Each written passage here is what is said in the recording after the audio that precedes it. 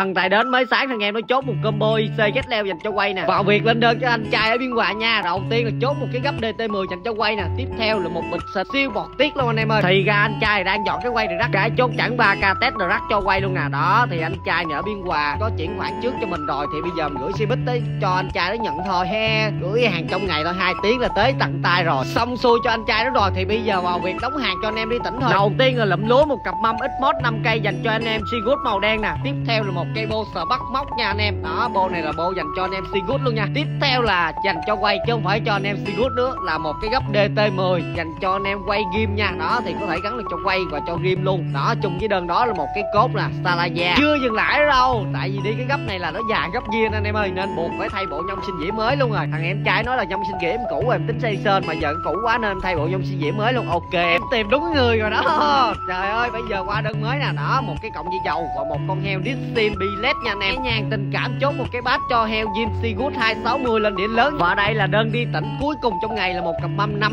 cây nha anh em. Nhưng mà mâm này là mâm gác kinh boy size 1.4 1.6 dành cho anh em Seagood luôn. Đó thì soạn hàng cũng đã xong rồi. Thì mình sẽ tặng cho anh em mỗi anh em hai cái logo của shop mình nha. Đó thì làm kỷ niệm thôi chứ không có gì hết á. Cuối video rồi mình muốn nhắn nhủ với anh em một câu như vậy là anh em nào có cần đặt hàng hay mua hàng thì cứ inbox trực tiếp với Châu Đức Đạt nha. Khắc